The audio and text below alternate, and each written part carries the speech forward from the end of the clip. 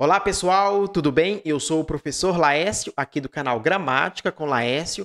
Olha só, alguns inscritos aqui no canal pediram para eu analisar o conteúdo de língua portuguesa que vai cair no concurso da Secretaria de Educação do Distrito Federal, edital de 2022. Então, separei aqui o conteúdo de língua portuguesa.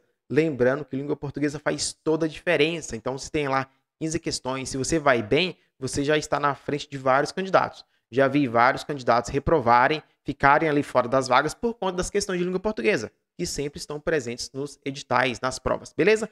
Então vem comigo, olha só o que a banca Quadrix está cobrando de língua portuguesa. Olha só, item 1, compreensão e interpretação de textos de gêneros variados. Então é aquele tipo de questão que vai aparecer na sua prova. A banca vai colocar um texto, aí pode ser uma fábula, um artigo científico, uma reportagem, uma notícia, diversos gêneros textuais, né? Porque ela colocou aqui, ó, variados gêneros. Então pode ser até um poema e vai pedir para você fazer interpretação com base no texto. Então a banca vai falar, na linha tal do segundo parágrafo, a gente pode compreender que o autor quis dizer isso e isso. Você vai fazendo ali interpretação com base no texto. Beleza? Gêneros variados, gêneros textuais são as diversas formas que nós utilizamos para estabelecer comunicação. O e-mail, a carta, a fábula, a resenha, o artigo científico, uma tese. Beleza? Então pode aparecer lá no seu, é, na sua prova vários gêneros textuais, tá bom? Item 2, olha só, reconhecimento de tipos e gêneros textuais. Bom, quando a banca fala de tipos, ela está falando do tipo narrativo, descritivo, é, o texto injuntivo, o texto dissertativo, são os tipos de, de texto. Então, os gêneros textuais, eles surgem a partir da tipologia. Então, a banca pode cobrar uma questão assim. Vai ter um texto e vai dizer a predominância desse texto é dissertativo, é injuntivo, é narrativo, e você tem que saber os tipos de texto. Beleza? Aqui no canal tem vídeo sobre tipologia textual, vou deixar aqui na descrição, ok?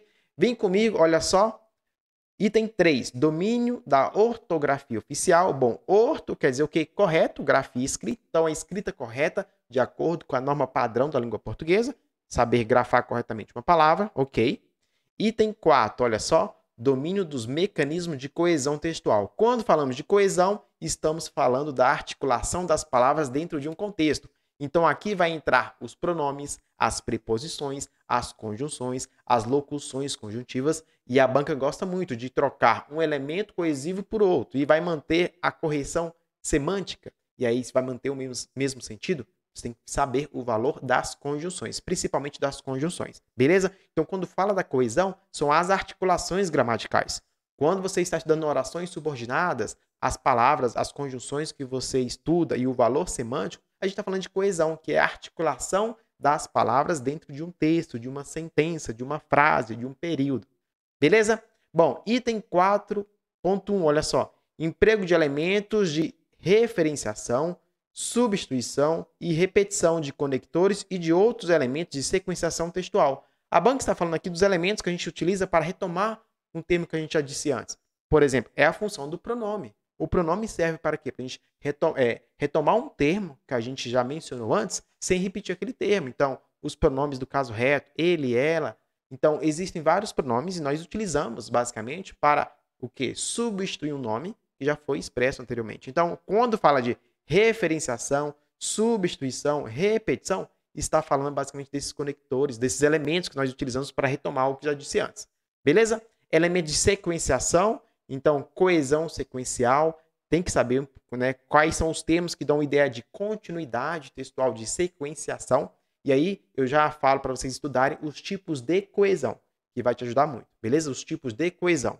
Coesão referencial, coesão sequencial, tá bom? Por isso que conjunção, saber as conjunções é mega importante, ok? Item 4.2, olha só, emprego de tempos e modos verbais aqui em relação ao verbo tem que saber, tem questões que cobram lá um verbo, qual é o modo e tempo verbal é, daquele verbo dentro de uma estrutura. Você tem que saber, então, pegar uma boa gramática, por exemplo, uma que eu gosto muito aqui, do Celso Cunha, e estude verbos, tá? Verbos caem muito em provas, ok?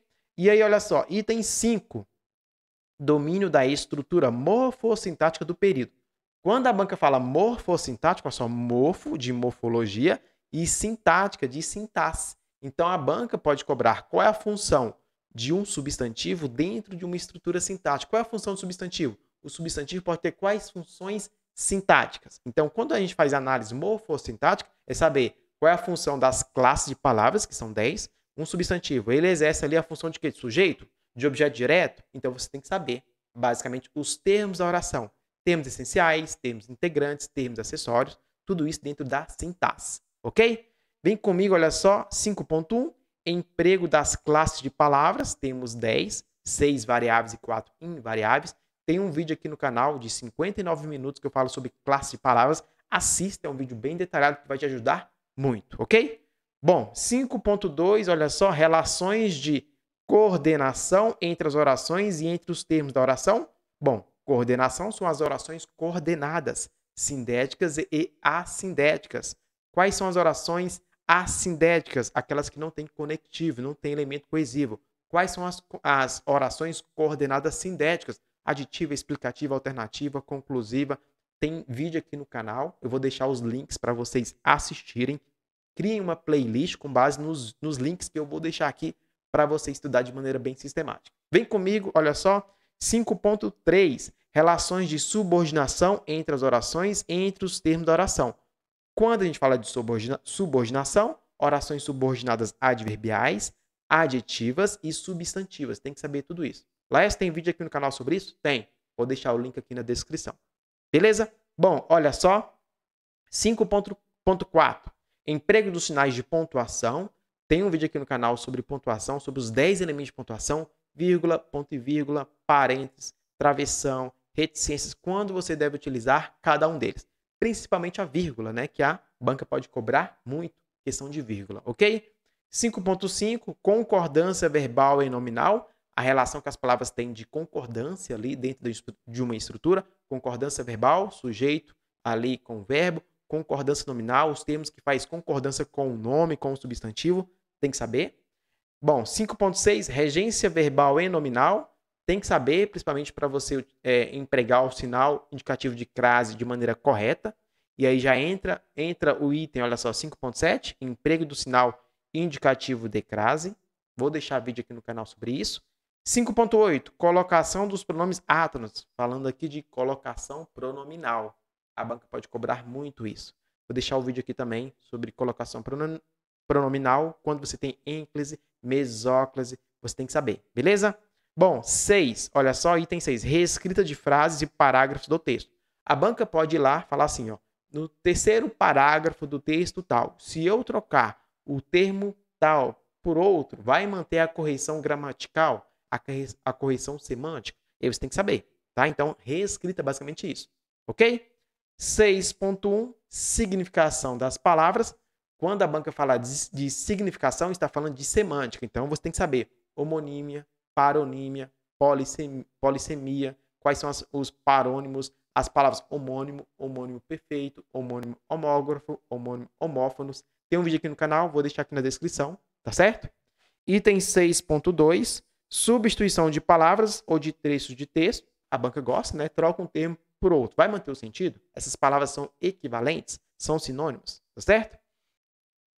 6.3, reorganização da estrutura de orações de períodos do texto. Então a banca pode trazer uma oração na ordem inversa, um período meio bagunçado, e você saber se ele está correto, a estrutura sintática ali, né, dos, das orações que compõem o período. Tem que saber dessa reorganização, tá? 6.4, reescrita de texto de diferentes gêneros e níveis de formalidade.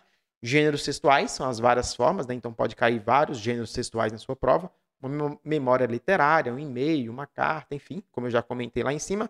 Níveis de formalidade, está falando de, da questão de linguagem padrão, não padrão, as variedades linguísticas, né? Existem vários é, tipos de variações. Vou deixar o, o vídeo aqui, o link na descrição também para vocês assistirem sobre é, níveis de formalidade, variação linguística, tá certo? Item 7, figuras de linguagem.